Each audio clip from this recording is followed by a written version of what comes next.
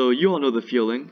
You're sitting around at home very happy, but then suddenly you feel a stomach ache coming. Your stomach's growling and it hurts a lot. So what do you do? You might choose to take some medication. So you open your mouth wide and you pop in a pill to wait it out.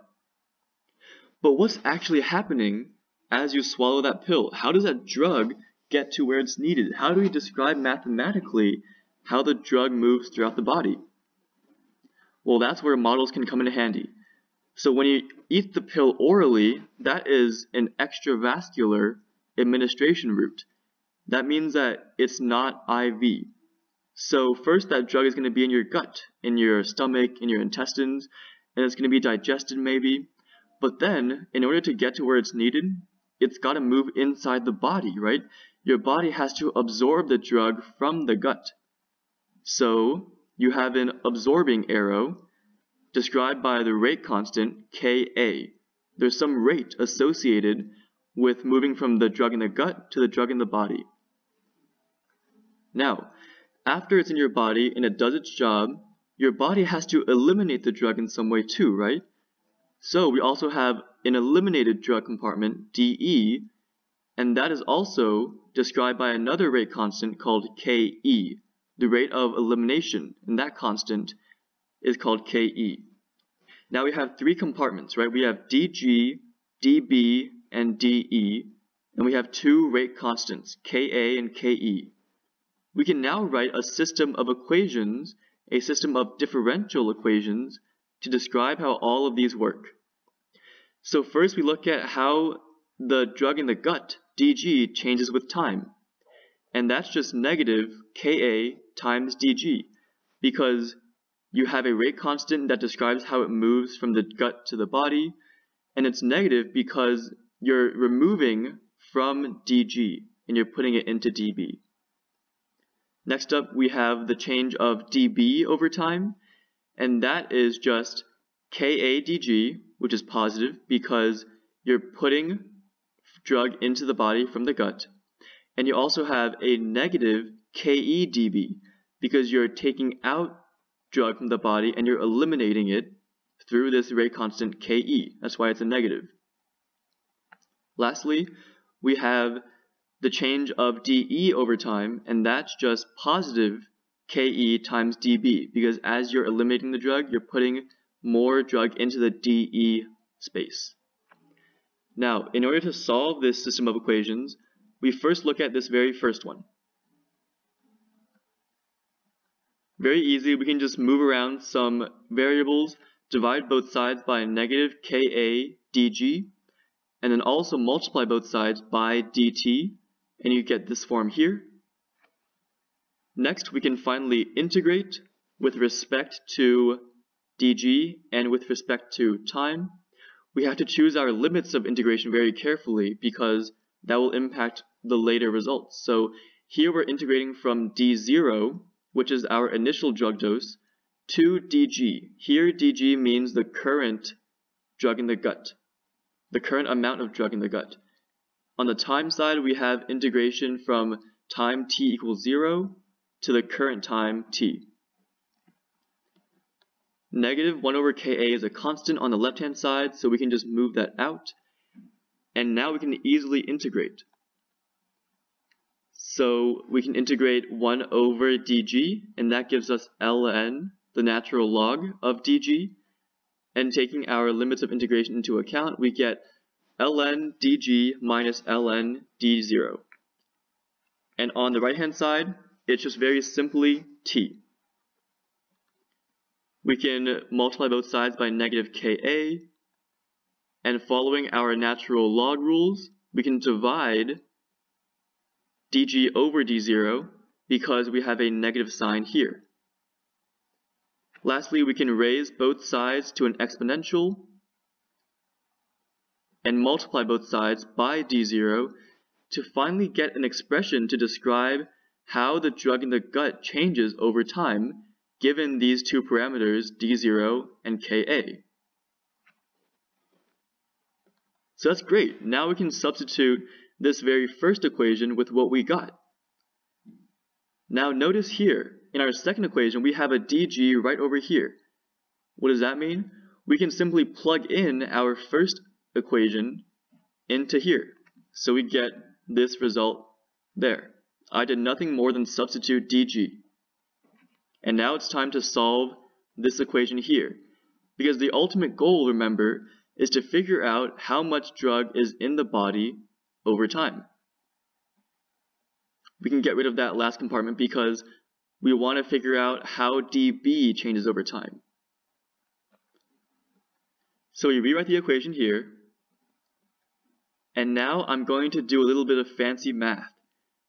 The fancy L you see there is called a Laplace transform, and you can do a Laplace transform on both sides, and this will help us with solving this differential equation. Now the Laplace transform is a linear function, which means that because you have two terms here, you can separate that out into two Laplace transform terms, like so. Again, because the Laplace transform is a linear function, you can take these constants and bring them out to the front of the Laplace transform, giving us this expression here. Similarly, for ke, you can also move ke out to the front because it's a constant. Now, for the left-hand side, we can modify it so that we can change our the Laplace transform of the differential into something more manageable. So there is a property that when you take the Laplace transform of a function with respect to time, then you can come out with some dummy variable, I'll just call it s, times the Laplace transform of the original function minus the Laplace minus the, the function value at time t equals 0. However, at time t equals 0, we have no drug in our body. That's why it's a minus 0 here. Everything else stayed the same. Very easily, we just move this last term to the left-hand side so that we can factor it out. And on the right-hand side, we can actually evaluate the Laplace transform of this exponential term. You can look up any Laplace transform table and it will tell you that the, the Laplace transform of e to the negative constant t is 1 over s plus that constant, which is what we have here. We can divide both sides by this s plus ke term to finally get an expression for the Laplace transform of dB. So now our goal is to somehow figure out what this is. So I just rewrote the equation here and now I'm going to do some manipulating.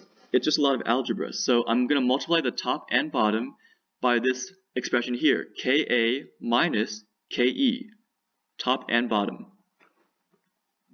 And now we can factor out the Ka d0 and the Ka minus Ke. Take a moment to, to look that to see that these two are indeed the same. And now we can do some partial fraction decomposition. So changing this term into 1 over s plus ke minus 1 over s plus ka. Notice how these two are actually the same exact expression because you can multiply this by s plus ka, multiply this by s plus ke, the s's cancel out, and you're left with ka minus ke.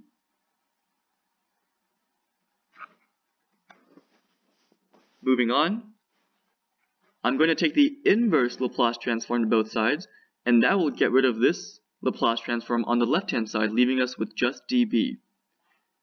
So the inverse Laplace transform of this entire thing is what we're going to be solving. Again, the inverse Laplace transform is also a linear function, so we can take that constant term here and just move it out. And these two terms we can also separate out into two separate inverse Laplace transforms. Now, as we just saw before earlier, the Laplace transform of an exponential function looks a lot similarly, looks very similar to this expression here. So what you can do is just take the inverse Laplace transform of these values and turn them into exponentials. And there we have it. This is our expression that we can use to describe how much drug is in the body over time. Now, what we can now do is divide both sides by the volume of distribution. And when you divide by a volume, what you're really doing is turning the left-hand side into a concentration because the amount of drug divided by a volume is simply the concentration of that drug in the body. Now, of course, this equation here is assuming that every single molecule of drug you ate was absorbed. This, this equation here is assuming 100% bioavailability. So we want to include an F term here to describe the fraction of the drug that actually is absorbed. And there you have it. This is the equation that we can use to describe how the drug evolves over some period of time inside the body. Alright, so what I did was I took our handy dandy equation and I put it into a handy dandy software called Desmos. Desmos is this graphing tool and you can see this beautiful curve that this equation produces. On the y-axis we have C, concentration of the drug in the body, and on the x-axis we have T, for time. Now, in this case, we only want to know values for T that is greater than 0, because the negative side doesn't really make much sense. But we can see that we can change these parameters, right? If we increase F, if we increase the fraction of the drug that's absorbed, obviously the curve is going to go up because you're getting more and more drug into the body, right? Similarly, decreasing F will make it go down. That's very intuitive. The same effect goes for D0. The more drug you eat initially, the, the more drug will, will be in your body. But the less drug you eat, the less drug will be in your body. Very simple. Now for volume, if I decrease the volume, you're going to start increasing the concentration because that's how concentrations work, right? V is in the denominator. As you increase V, your concentration goes down. Ka and Ke, these two are the interesting ones. Ka, as you increase your absorbing rate constant, what you're doing is you're going to be shifting that curve more and more to the left, right? You're making that initial absorbing rate a lot higher. See that? Similarly, if you decrease Ka, you're going to spread out the curve some more. You're going to spread it out like that because you're going to decrease that initial absorbing rate constant. Now, you can predict this for yourself. If you increase Ke, you're going to get rid of the drug a lot faster, right? Which means that you're going to start seeing the curve go more and more down and more to the left. It's kind of sagging a little bit. And on the left, if we decrease Ke, you can see that we are decreasing the elimination rate and we're making that concentration go way, way up, right? So I'm going to include a link of this in the description so you can play around with it for yourself. But that's all I have for you today. So thanks for watching.